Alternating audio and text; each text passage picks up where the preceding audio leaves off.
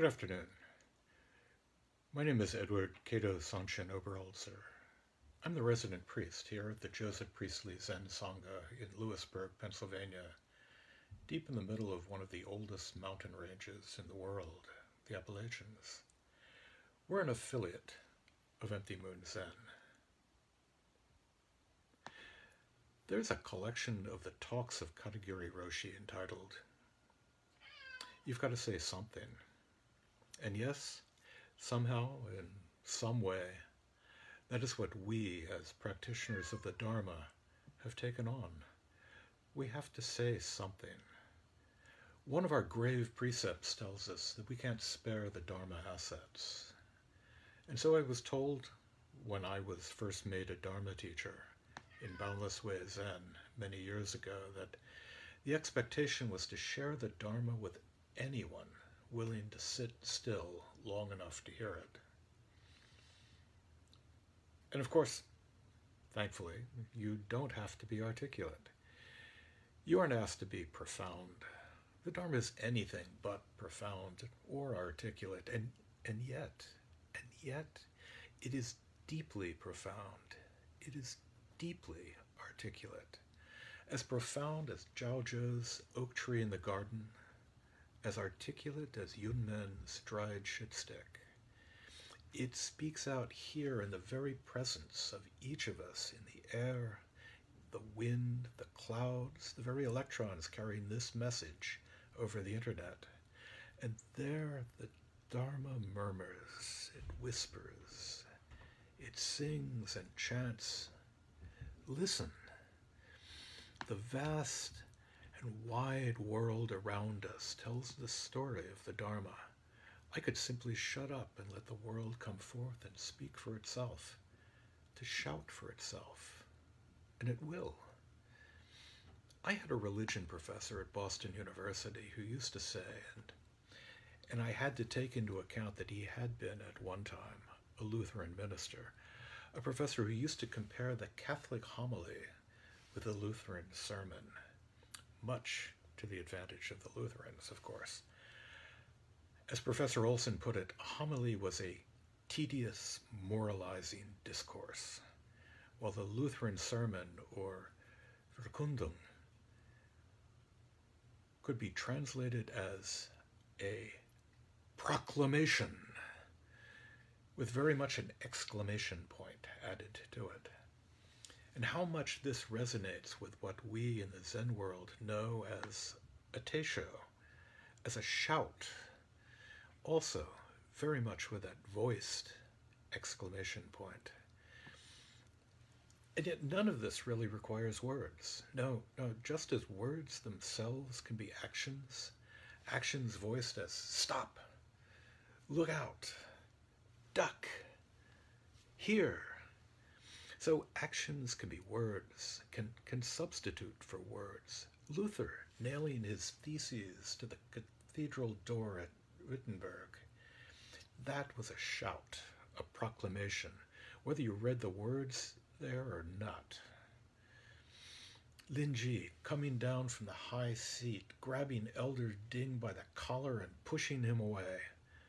Well worth an entire sermon. Many years ago, there was a film version of a short story by Robert Graves titled The Shout. It told of the effects on a marriage of two characters when they took in a man, played by Alan Bates, who claimed to have lived among Australian Aborigines for decades, decades during which he was taught to shout a shout so intense, so powerful, so devastating that anyone who heard it would die instantly. As you might imagine, things did not go well. But a shout, a teisho that kills, that utterly destroys the ego, the self, now that is a consummation devoutly to be wished. And so we hear a monk asked Dongshan, When cold and heat visit us, how should we avoid them? Dongshan said, Why not go where there is neither cold nor heat? The monk asked, Where is there neither cold nor heat? And Dongshan said, When it is cold, kill yourself with cold. When it is hot, kill yourself with heat. When a shout kills you, turn towards that shout. Let yourself be extinguished. Let your ego die, even if it's just Alan Bates there on screen. Words, words, words, says Hamlet. Words rather than actions, yet even he, in setting out that play within a play, treats those mere words as a hook to catch his uncle. Words that, stripped of their meaning, stand by themselves as acts. John in his Gospel tells us, En archein ho logos, in the beginning was the Word, the Logos. The whole universe begins with a word. God moves on the water and utters fiat lux, a word that does not convey simply meaning, a word that transcends meaning, a word that is, that simply is meaningless, meaningful, flavorless, silent, expressive, a voice of thunder in the silence. Just this, just this, let there be light. That simple act, that picture conveyed a thousand words, that picture that holds a thousand actions, that word that speaks volumes Wumen gives us. In case 40 of the Gateless Gate, often entitled Guishan kicks over the water bottle. He gives us this. When Guishan was with Baizhang's assembly, he was the cook of the monastery. Baizhang wanted to choose a founding teacher for Mount Dagui. He invited all of his monks to make a presentation, saying, The outstanding one will be sent. Then he took a water bottle and set it on the floor and said, Don't call this a water bottle. What would you call it? The head monk said, It can't be called a wooden clog. Baizhang then asked Guishan's opinion. Guishan kicked over the water bottle and walked out. Baizhang laughed and said, The head monk loses. Guishan thereupon was made the founding teacher at Mount Dagui.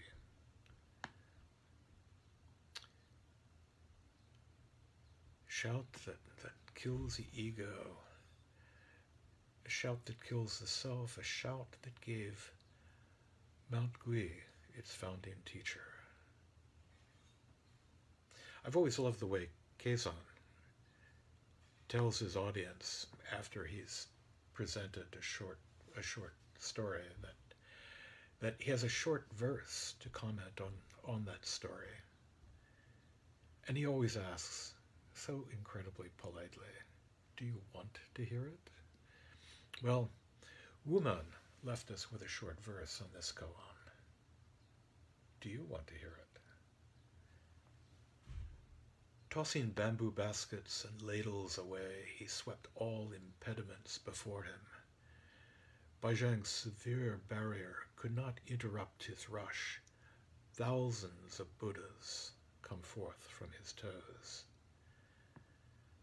That shout that comes forth from Guishan's feet, do you feel its echoes down the ages? It's right here, right now. Thank you.